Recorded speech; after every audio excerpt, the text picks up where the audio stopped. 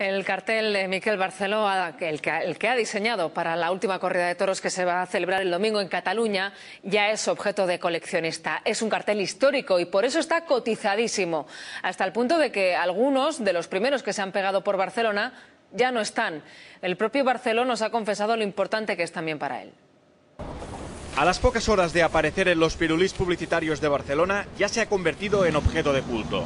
¿Podría usted dármelo, por favor, ya que soy gran aficionado a los toros? No me, no me permite regalar ni vender los pósters. Arte y simbolismo se unen en este exclusivo cartel del artista Miquel Barceló para promover la última corrida de toros en Barcelona antes de su prohibición. Son evidentes los intentos de arrancarlo de una forma elegante. Que no es vandalismo, esto alguien lo quiso, mira, que aquí no está arrancado. Los toros siempre han tenido un protagonismo especial en la obra de Miquel Barceló.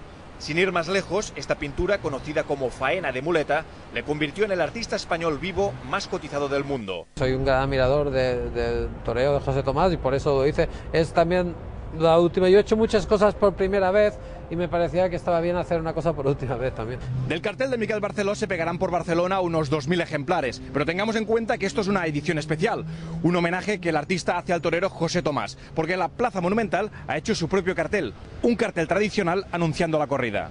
Me conformaría con este hombre, pero el de Miquel Barceló está hecho para este día y este fin de semana, para el cierre, el cierre de esta plaza. Las peñas piensan también en hacer un hueco en sus locales para que luzca al lado del matador. Tendremos aquí la, la foto de José Tomás, tendremos aquí la, el cartel de la corrida. Este alegórico cartel quedará en la historia como el telón artístico que cerró la celebración de corridas en Cataluña. Para la última faena, la del domingo, ya no quedan entradas.